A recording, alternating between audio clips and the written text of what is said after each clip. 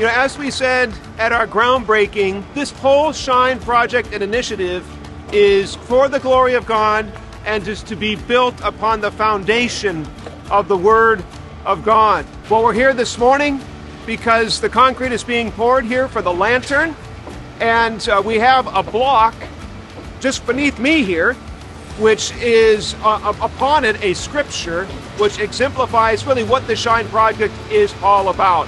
And that is so that the generations to come, the generations yet unborn, would hear, know, and cling in faith to the testimony of God and the gospel of Jesus Christ. So the block that's right beneath me here, what we're going to do is we're going to uh, have it here, and the concrete is going to be poured over it so that uh, in a real way, the foundation of the church is built upon the Word of God. And as we know, Jesus Christ says He is the cornerstone, and He is in Himself the Word.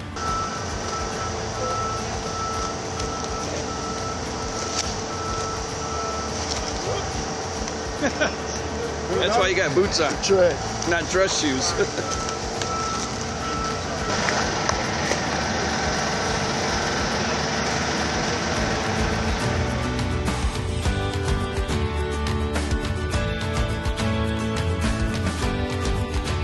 Now that the concrete floor has finally been poured, there's steel beams up right now if you look outside, and the Student Center is almost finished. We're excited to begin the new chapter in the Shine Initiative. Now, our motto has been grace and flexibility, and this will continue to be for the next couple of months.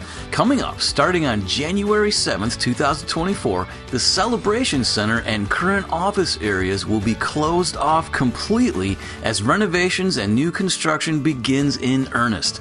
This is a very significant change for the entire church but remember, it's a temporary one. Also, beginning on January 7th, our Sunday encounter services will be right here in the sanctuary, and the Wednesday classes that take place will be down in the school end of the campus. Our current entrance will remain as the main entrance, but the parlor will be turned into an office area, among other areas throughout the campus. So please be gracious and flexible, as that room will no longer be available during our Sunday services. Now, with the Celebration Center closed, that also means our kitchen is closed. So, one of the biggest questions on everyone's mind is this Will we still have our meals on Wednesday evenings?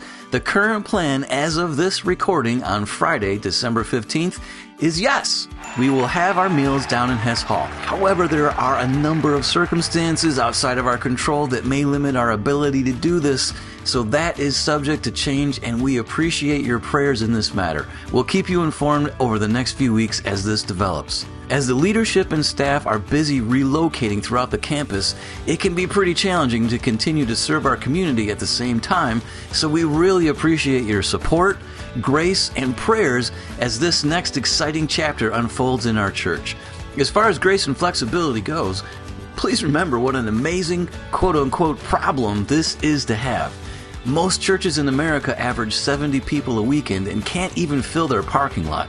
Most importantly, all of this is happening because of Jesus and His grace. And all of this is for Jesus to be honored and lifted up. And all of this is for as many people to know Jesus as their personal Savior as possible throughout our community, state, country, and the world.